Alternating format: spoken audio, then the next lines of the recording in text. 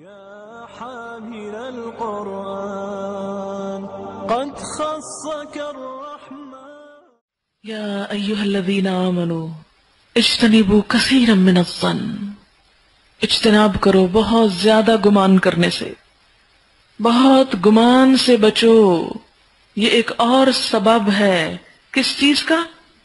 تعلقات کی خرابی کا۔ اور بچو تم گمان سے۔ کیوں؟ اس لیے کہ آپ سے یہ بات پہلے بھی بہت دفعہ میں کر چکی ہوں کہ کسی بھی عمل کی ابتدا گمان سے ہوتی ہے۔ کسی بھی چیز کے بارے میں سب سے پہلے آپ کی سوچ ڈیولپ ہوتی ہے۔ آپ کے اندر ایک سوچ آتی ہے۔ پھر اس کے بعد وہ سوچ کس میں ڈھل جاتی ہے؟ قول میں۔ پھر آپ زبان استعمال کرتے ہیں۔ پھر عمل میں۔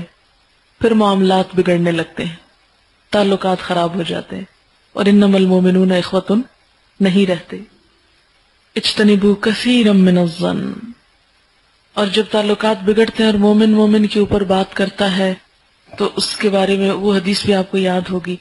ابن ماجہ میں ہے کہ نبی صلی اللہ علیہ وسلم نے طواف کعبہ کرتے ہوئے فرمایا، تو کتنا پاک گھر ہے، تو کتنی حرمت والا ہے۔ اس کی قسم جس کے ہاتھ میں محمد صلی اللہ علیہ وسلم کی جان ہے، کہ مومن کی حرمت، اس کے مال اور اس کی جان کی حرمت اور اس کے ساتھ نیک گمان کرنے کی حرمت اللہ کے نزدیک تیری حرمت سے بڑی ہے۔ سمجھ میں آئی ہے؟ کہ اے گھر تو کتنا پاک ہے، کتنا محترم ہے، لیکن مومن کی جان، مال، عزت اس سے بھی زیادہ حرمت والی، اس سے بھی زیادہ محترم ہے۔ حتیٰ کہ اس کے بارے میں برا گمان رکھنے کا بھی حق نہیں۔ اللہ یہ کہ کوئی ثابت کر دے اپنے عمل سے کہ وہ ہے ہی برا۔ پھر آپ اس کے بارے میں کیا خوش گمانی رکھیں گے؟ جب کوئی اپنے عمل سے ثابت کر دے، تو پھر آپ کو سوروار نہیں ہے پھر آپ کو دھوکہ کھانے کی بھی اجازت نہیں۔ مومن ایک سوراخ سے دو مرتبہ نہیں ڈسا جاتا۔ مومن بے وقوف بھی نہیں ہوتا کہ اپنی آنکھوں سے دیکھتے ہوئے ایک چیز سے پھر ڈسا جائے۔ آپ کو معلوم ہے کہ حضرت عائشہ رضی اللہ تعالیٰ عنہ کے خلاف جب الزام لگا تھا، تو اس وقت اس کی بنیاد کیا تھی؟ گمان گمان یقین میں بدل لیا گیا۔ اور عموماً یہ ہوتا ہے کہ بعض اوقات لوگ ایک بات سوچ رہے ہوتے وہ کسی سے ذکر کرتے وہ بھی ہاں میں ہاں ملا دیتا، اب یہ سوچ پکی ہو گئی۔ اب اگلی دفعہ جب یہ بات ریپیٹ ہوگی، تو صرف گمان نہیں ہوگی، بلکہ قول بن چکی ہوگی، حقیقت میں نظر آ رہی ہوگی۔ اور اس طرح جو بات جس کی کوئی اصل نہیں ہوتی، وہ بالکل ایک دوسرے رنگ میں مشہور ہو جاتی حضرت عائشہ کے بارے میں اللہ تعالیٰ نے جب تردید کی آیات نازل فرمائی کیا فرمایا؟ کیوں ایسا نہ ہوا کہ جب مومن مردوں اور عورتوں نے یہ بات سنی تو وہ اپنے بارے میں اچھا گمان کرتے؟ یعنی خود کو وہاں رکھ کر دیکھتے کہ اگر وہ خود ایسی جگہ پر ہوتے تو ایسا ہی کام کرتے؟ اور اگر وہ خود کو ایسا نہیں سمجھتے تو ایک نبی کی بیوی کے بارے میں انہوں نے کیسے سوچ لیا کہ وہ ایک بری عورت ہو سکتی ہے؟ نعوذ باللہ۔ اور پھر آپ دیکھیں خاص طور پر گمان سے اس لیے بچنا چاہیے اور گمان سے بچنے کا بہترین نسخہ کیا ہے؟ من حسن اسلام المرء ترکہ ما لا یعنیہ۔ انسان کے اسلام کا حسن یہ ہے، ان باتوں کو چھوڑ دے جس سے اس کا مطلب ہی نہیں۔ مثلا آپ گاڑی پہ جا رہے ہیں، کسی لڑکے اور لڑکی کو چلتا دیکھتے ہیں۔ آپ کیوں سوچیں کہ یہ ضرور ان کا کوئی تعلق نہیں اور یہ حرام میں ہی ایک دوسرے کے ساتھ جا رہے ہیں۔ ہو سکتا ہے ان کی شادی ہو چکی ہو ہو سکتا ہے وہ بہن بھائی ہو ہو سکتا ہے وہ وہ کوئی بھی ہو۔ آپ کا کیا کام کیا آپ اس پہ سوچنے بیٹھ جائیں اور کمنٹ کرے اور تبصرہ کرے اور دوسرے جو آپ کے ساتھ ٹریول کرے ان کو بھی ہلا کے کہ دیکھو دیکھو وہ کیسے جا رہے ہیں؟ ضرور یہ خراب لوگ ہی جا رہے ہیں۔ آپ کو کیا خبر کہ وہ کون ہے جب آپ اس کی کچھ بھی حقیقت نہیں جانتے، تو آپ کو حق کس نے دیا کہ آپ برا سوچیں؟ اور اگر آپ نے سوچ لیا، تو حق کس نے دیا کہ آپ زبان سے کہہ کے اس کو بدنام کرے نہیں۔ تو اس میں آپ دیکھیں کہ گمان کی ممانعت ہے، لیکن گمان کی کئی ایک قسمیں بھی ہیں۔ اس کو میں سم اپ کرتے ہو یہاں پر آپ دیکھیں کہ صرف گمان سے روکا نہیں گیا۔ بلکہ برے گمان سے روکا گیا ہے۔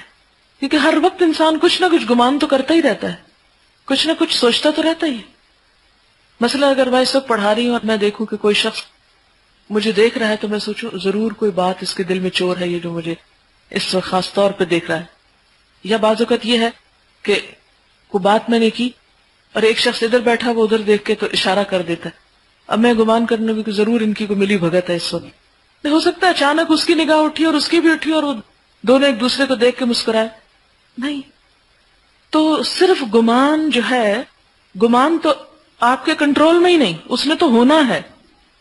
لیکن کس چیز سے روکا کہ ایک گمان آئے تو آ کے اس کو چلے جانا چاہیے، بیچ میں سے رک نہیں جانا چاہیے۔ اگر آپ روک کر اس کے اوپر ایکسرسائز شروع کر دیتے ہیں، عمل شروع کر دیتے ہیں، اسے آگے پھیلانا شروع کر دیتے ہیں تو اسی سے خرابی شروع ہوتی ہے۔ تو فرمایا، بہت زیادہ گمان سے بچو۔ کہ ان نباز زن اسمن بعض گمان گناہ ہوتے۔ ایک گمان تو پسندیدہ ہوتا ہے۔ نمبر ایک، پہلا گمان جو اچھا گمان ہے۔ اور وہ کیا ہے؟ اللہ، اس کے رسول اور اہل ایمان کے بارے میں نیک گمان۔ اچھی سوچ رکھنا اچھا خیال رکھنا۔ حسن زن اور سب کے بارے میں انسان حسن زن رکھے سوائے اس کے کہ جو اپنے عمل سے ثابت کر دے کہ وہ اچھا گمان رکھنے کے لائق نہیں ہے۔ دوسرا یہ کہ ایسا گمان جس سے کام لینے کے سوا عملی زندگی میں چارہ ہی نہ ہو۔ مثلا عدالت میں جب گواہیاں پیش ہو رہی ہوں تو اب جج کو گمان کرنا پڑے گا اور گمان غالب کی بنا پہ فیصلہ دے گا۔ اب اس کے پاس تو حقیقی علم کچھ بھی نہیں۔ اور اگر ہو بھی تو اپنے علم کی بنا پہ فیصلہ نہیں کر سکتا۔ اسے کس پہ فیصلہ کرنا ہے؟ جو بات اس کے سامنے ہو رہی، جو اس کے سامنے شہادت آئی ہے، جو گواہی آئی ہے۔ اب جو گواہی آ رہی ہے، وہ اس کو سامنے رکھ کر ایک گمان قائم کرے گا اور پھر اس پر فیصلہ دے دے گا۔ تو دس از کوائٹ نیچرل پھر اسی طرح، تیسری قسم کا گمان یہ ہے کہ ہے تو بدگمانی مگر جائز ہے۔ ہے بدگمانی، برا گمان اچھا نہیں ہے۔ پہلا کون سا تھا؟ اچھا گمان، پسندیدہ گمان، دوسرا ضرورت کا گمان، تیسرا بدگمانی مگر جائز، اس کا شمار گناہ میں نہیں ہوتا۔ مثلا کسی شخص، کسی گروہ، کی سیرت اور کردار میں ایسی باتیں ہوں، ایسے طور طریقے ہوں، واضح پروفس ہوں کہ اس کے بعد آپ اس کے بارے میں اچھا گمان نہ رکھ سکیں، تو اس پر آپ کی پکڑ نہیں۔ مثلا ایک شخص کو آپ نے چوری کرتے ہوئے دیکھا، خود اپنی آنکھوں سے دیکھا۔ تب آپ ایسے تو نہیں کر سکتے کہ بے وقوف بن جائے اور آپ کے نہیں نہیں وہ میرا ہی خیال غلط ہے، وہ چوری نہیں کر سکتا۔ جب ثابت ہو گیا کہ اس نے چوری کی، اور کیسے ثابت ہو کہ آپ کو پتا تھا کہ جو کچھ وہ کسی کے بیگ سے نکال رہا ہے، وہ اس کا اپنا بیگ نہیں ہے، اور آپ اس بیگ کے مالک کو بھی پہچانتے ہیں، اور اس شخص کو بھی پہچانتے ہیں، اور اس کے اس فیل کو بھی اپنی آنکھوں سے دیکھ رہے ہیں۔ تو آپ کے ذہن میں آئے گا کہ یہ شخص چور ہے۔ اب اس میں آپ خوش گمانی کیا کریں گے؟ اس میں پکڑ نہیں ہے۔ اب اس میں یہ ہے کہ اگر آپ کو گمان ہو کیا ہے برا اور یقین پر مبنی ہے، تو اب آپ کیا کریں؟ اس کو آگے نہ پھیلائیں۔ شر کو آگے نہ پھیلائیں۔ کیوں؟ اس کی وجہ یہ ہے کہ اگر آپ اس بدگمانی کو آگے آگے پھیلائیں گے، تو اس سے کیا ہوگا؟ معاملات اور بگڑیں گے، حالات اور خراب ہوں گے، فساد پھیلے گا۔ جب تک اس شخص کی وہ بری عادت بڑے پیمانے پر کسی کو نقصان نہیں دیتی، خاموشی اختیار کریں۔ اور اس کو ضرور سمجھا دیں کہ تم نے یہ جو کیا اچھا نہیں کیا۔ یا پھر اگر اس نے بہت بڑی کوئی چوری کی ہے تو پھر آپ گواہی دینے کو تیار ہو جائے اور عدالت سے اس کو سزا دلوائیں۔ اپنے ہاتھ میں پھر بھی قانون کو نہ لیں۔ کیونکہ مشکل یہ کہ اپنی خطائیں خود نظر نہیں آتی ہم کو۔ تو اس لیے میں تو آپ کو اجازت دیتی ہوں کہ جو چیز میرے کلام میں آپ کو، میں کچھ لوگوں سے پوچھتی بھی رہتی ہوں۔ بری لگے تو آپ اس پر بھی آگاہ کر سکتے ہیں۔ کہتی ہیں کہ ہماری ایک جاننے والی جب بھی کسی شادی سے آتی تو ضرور مذاق اڑاتی کہ فلاں کا دلہا کیسا تھا، فلاں دلہن ایسی تھی، زیادہ تر دلہوں کی شکلوں کا مذاق اڑاتی۔ ان کی اپنی تین بیٹیاں جو کہ خاصی خوبصورت لیکن اتفاق دیکھیں، تینوں کی شادی بہت ہی معمولی شکل کے لڑکوں سے ہوئی اور بچے بالکل اپنے باپوں پہ گئے۔ عام طور پر اگر کسی کا کوئی عیب نظر آ جائے تو انسان کو کیا کرنا چاہیے؟ معاف کر دینا چاہیے اگنور کر دینا چاہیے، دل بڑا کر لینا چاہیے۔ اور پھر خیرخائی کے ساتھ اصلاح کی کوشش کرنی چاہیے۔ لیکن یہ کہیں بھی حق نہیں پہنچتا کسی کو کہ انسان اگر کسی کے بارے میں خیال اچھا نہیں رکھتا تو آگے بڑھ کر تجسس شروع کر دے۔